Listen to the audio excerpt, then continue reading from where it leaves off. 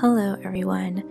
My name is Tabby. Welcome back or welcome to my channel, Keeping Tabs. Today, I am trying something new, something I've always wanted to try because I love watching these kinds of videos, and that is a journal with me video. And the theme is my June TBR because most of the books that I plan on reading in June I do I don't own, so I wouldn't have been able to like hold the books up and talk about them in a traditional style TBR. So I thought I would do this instead. Um, I do have a theme, and it is dark academia, and I am really excited about it. I don't think I've read any dark academia books. I think on Goodreads, The Raven Cycle is categorized under dark academia, but I don't know if that's really. Ooh! Oh my gosh, there's a. There was a bug, but it's outside. Sorry. what was I saying? Oh, the Raven Cycle. I don't. I, I, I think that's dark academia, but I think it's more magical realism. So I've never actually read something that's truly 100% dark academia, and I've been seeing a lot of the aesthetics and book recommendations on YouTube and Instagram and just everywhere. So I've been inspired. And yeah, I'm very excited to get into my June reading list. I don't really have like a solid definition for what dark academia means. I have my own idea, some like what I um, picture it to mean, if that makes any sense. I just see dark academia being like a story that takes place in an educational setting, like a school or a university, boarding school, even like a library, something where education and learning and books are like really emphasized in the story. And then the dark part, of course, the books was like the academia part. The, the dark part means the story itself has a dark theme, which I love. I love dark content, so sign me up. So, I picked a bunch of books that I have seen people talk about, and I'm really excited about it. Also, the book that you saw me rip up, yes, that is my rip up book. It's like a random book that my friend gave me but it's book three in a series I've never heard of by an author I've never heard of. And yeah, I'll never read the first two, that's for sure. So I just keep it for my journaling purposes, or sometimes I do blackout poetry. And the pages are like really old and yellowy, so it looks great. You can't really see it on the on camera, but I really like the texture and color of the the book and the book pages. It's perfect.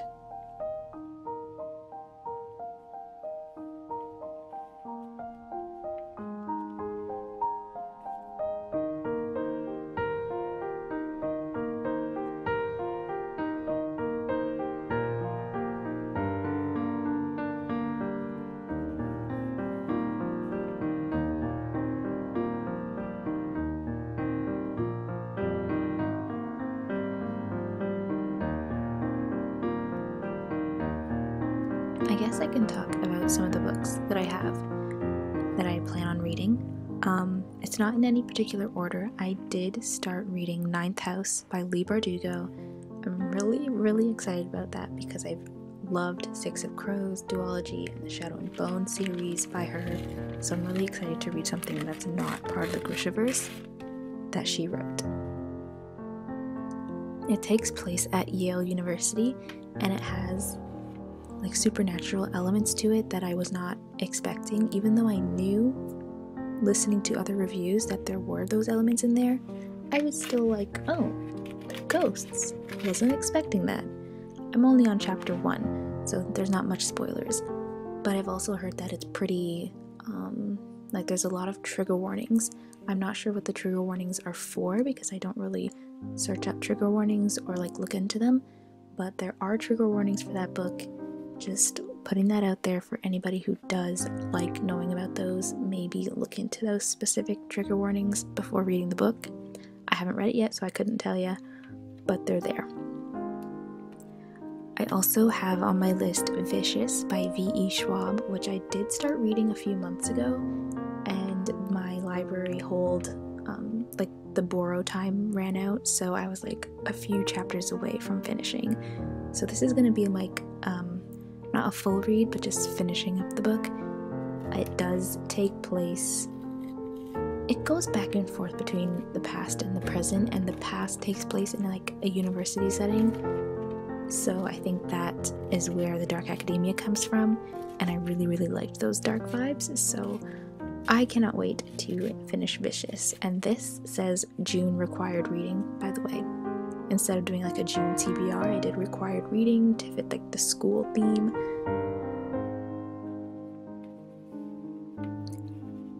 Another book that I'm really excited about reading is These Violent Delights and I have no idea who the author is. I'm so good at this. Wow, just wow. One second. The author is Micah Nemerever.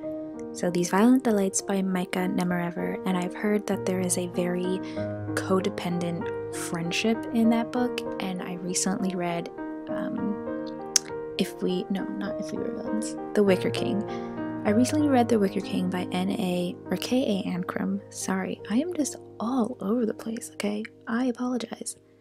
I recently read that, and there was a codependent friendship in there. Really, really codependent. It was very interesting to watch that whole thing unravel, so I am looking forward to seeing that in These Violent Delights. I don't know anything else about the plot, I just know that there is that type of friendship in there. I also have on my list my Dark Vanessa. That one is by Kate Elizabeth Russell, and I've heard that this one is very similar to the classic book Lolita.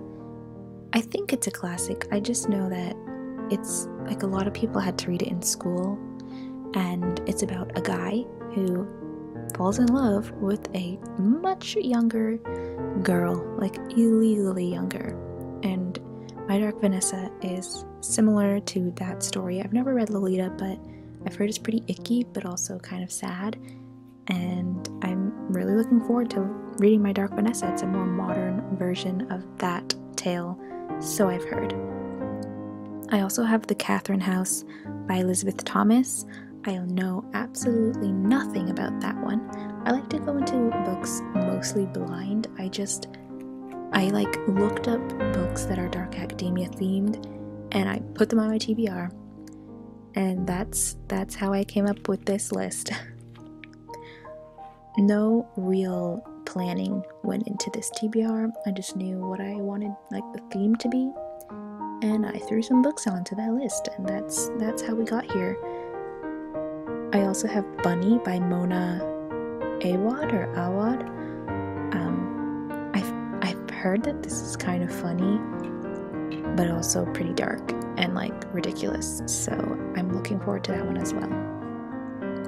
I'm pretty much looking forward to all of these because they're all pretty dark and I really, really love dark themes. So I also have um, If We Were Villains and The Secret History. The Secret History is a chunker. I don't know if I'm going to be able to get to that one. I'm going to put that one at the bottom of my list but I still want to read it. I've heard that If We Were Villains is like a easier version of The Secret History, like easier to read and digest. Anyways, that is my TBR. This is the overview of how the spread turned out. I really, really like it. I wish I would have added the authors' names into this, but it's okay. I know what I mean. Um, yeah, hopefully you enjoyed this. Um, Thank you for watching, and I will see you in the next one. Bye.